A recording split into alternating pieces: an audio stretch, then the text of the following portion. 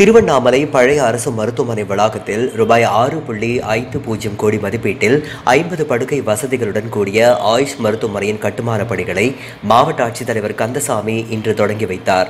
சென்னை அண்ணா நகரில் ஒருங்கிணைந்த ஆயுஷ் மருத்துவமனை செயல்பட்டு வருகிறது. தற்போது தமிழ்நாட்டில் முதன்முறையாக திருவண்ணாமலை மற்றும் தேனி மாவட்டங்களில் ஒருங்கிணைந்த ஆயுஷ் மருத்துவமனை கட்டப்படுகிறது. இம்மருத்துவமனையில் ஆயுர்வேதம் யோகா இயற்கை மருத்துவம் யுனானி சித்தா மற்றும் ஹோமியோபதி ஆகிய சிகிச்சைகள் அளிக்கப்படுகிறது.